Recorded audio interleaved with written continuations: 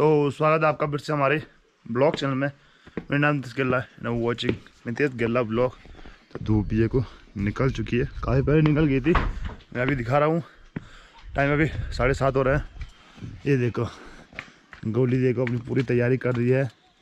चौका पत्ता जो भी होता है लिपाई पुताई सारी कर दी है। बर्तन धोने जा रही है अभी। उनकी अभी इसकी स्कूल है। स्कूल नहीं? हाँ छुट्टी है। आ जाए गोली गोबर डालने के लिए फिर से।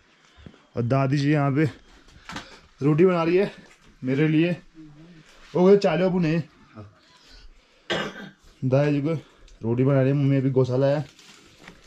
और हम निकल रहे हैं आज यहाँ से बद्रीनाथ के लिए। मैं हो गया, मेरे साथ दो लोग और हैं, उनको बाद में बुलाता हूँ। और मैं निकल रहा फ़िलहाल यहाँ से बद्रीनाथ के लिए। तो फिर नाश्ता करते हैं, उसके बाद निकलते हैं यहाँ से। दादी, जाना, वाह, मेरे दवा दो चार दिन बाद हाँ दादी चल जा यार। अरे, चलो ठीक रे तब। ना ना रे चलो ठीक है गरीब आदमी। वहीं।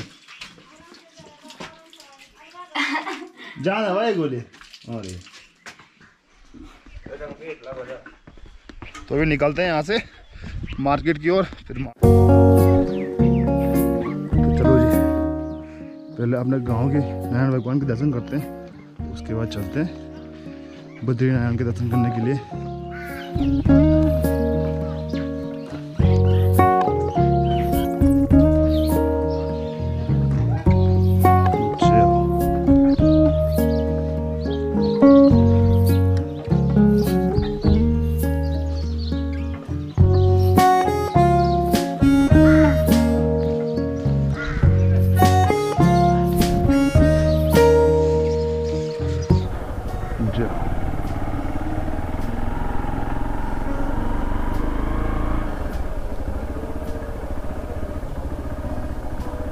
जी हाँ।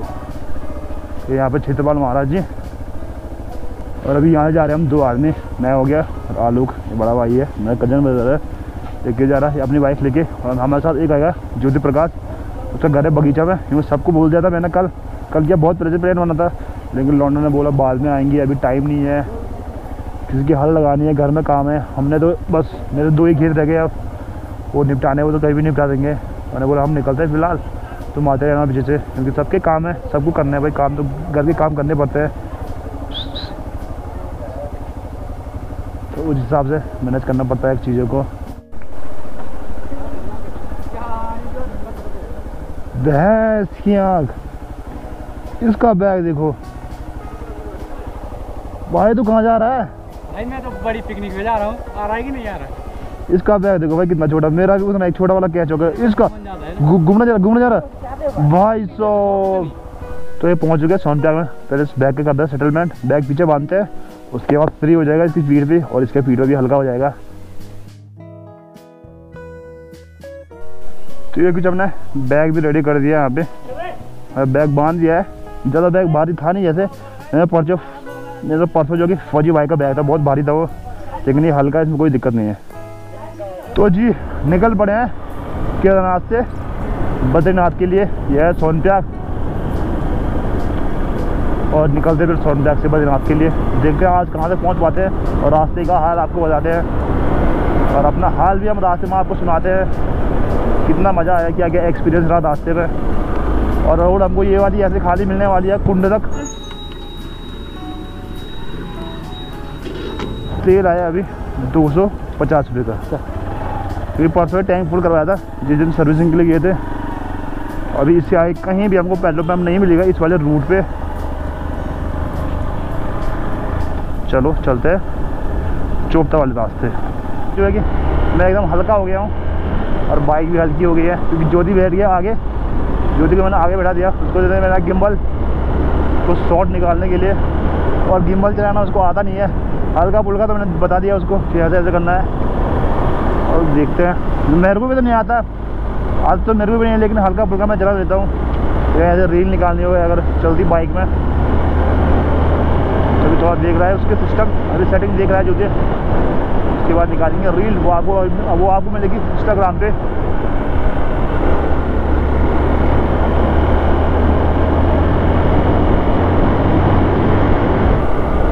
अरे भाई साहब यहाँ ठंडी लग रही है। क्या ये बताया जाए। वैसे हमारी जैकेट जुकेट पूरी डाली। ओ हो हो हिरन हिरन हिरन। वैसे नीचे गया कैमरे में आ गया होगा वैसे। कैमरे में आ गया होगा वैसे। ठंडी, में बताओ क्या? अभी मेरा वेदर ऑन है। क्योंकि इधर वेदर ऑफ़ रहूँगा कुछ दिखेगा नहीं। और इतनी ठंडी लग रही है, गालों पे। कैमरे के आगे। क्या ब्लॉगर बनेगा रिव्यू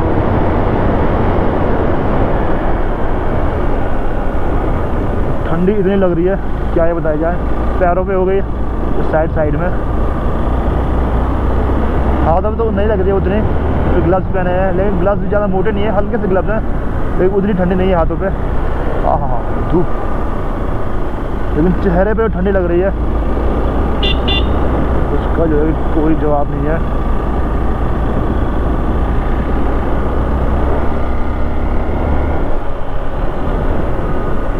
हम चोपता पहुँच गए। अभी ऐसा नीचे से बारह किलोमीटर बता रहा था। दो किलोमीटर हमने कवर कर दिया होगा। तो दस पहुँचा अभी भी दस किलोमीटर हो रहा है चोपता और चोपता की सिनेमेटिक दिखाएँगे आपको। और आगे से टेंपो ट्रेवल जा रहा है। इससे ओवरटेक करना तो बहुत ही मुश्किल है। कोई उतना बड़ा तो खुद ही है। और रोड आप देख ही सकते हैं कितनी बारीक है। हाँ, लेकिन मज़ा आ रहा है गाड़ी चलाने में। आगे से कोई भी ट्विस्ट देखने को मिल रहा है। आ गया टेंपो हाँ पहुँच गया भाई चुपता अभी और है, अभी तो ऊपर। लेकिन चुपता स्टार्ट हो गया यहीं से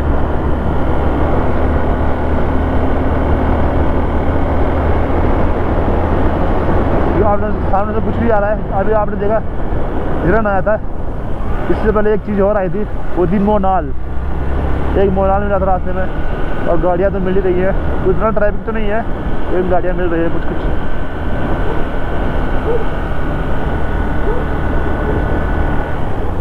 अबे यार हैं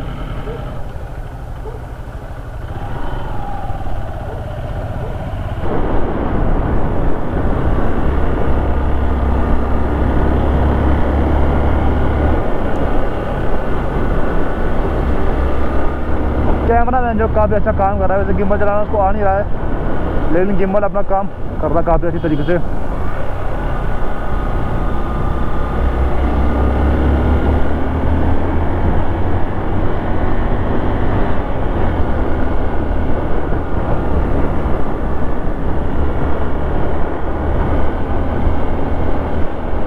इतनी वीडियो रिकॉर्ड होगी होगी, काफ़ी है इतने तो इसको थोड़ा स्लो मोशन भी करेंगे हम, तभी आपको फील आ ही जाएगा कि आप भी चोपता की वादियों में हैं।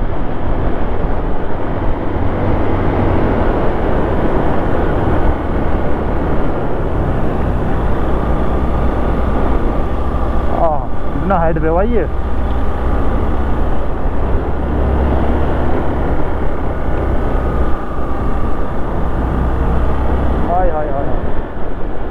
कितना ट्रैफ़िक रहता है यहाँ पे। और यात्रा चलती है। अभी देख लीजिए, आप कुछ भी नहीं है।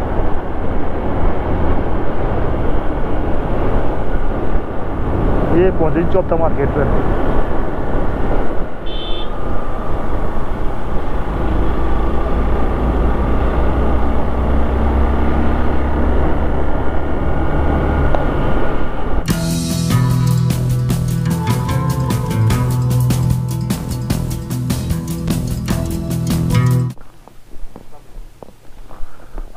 तो अभी रुके थोड़ा यहाँ पे। फ़ोटो शूट हुआ। अरे भाई, ऐसे देखो ट्रैवलिंग में कोई ना कुछ सामान छूटा ही छूटता है। अब पता नहीं क्या छूटा है। मेरा गिम्बल इसके पास है। बैटरी मेरी जेब में और इस पर जिप नहीं है। कुछ ना कुछ तो छूटेगा ही छूटेगा। तो ये पहुँच गया जी हम मंडल में। अभी जो कि टाइम एक बज के आठ मिनट हो रहा है। और भूख लगनी स्टार्ट हो गई है। लगनी स्टार्ट किया भूख लग रही है। तो यहाँ पे कहीं देखते हैं, खाने का बंदोबस्त। होता है तो करते हैं। आह क्या धूप निकली याद है।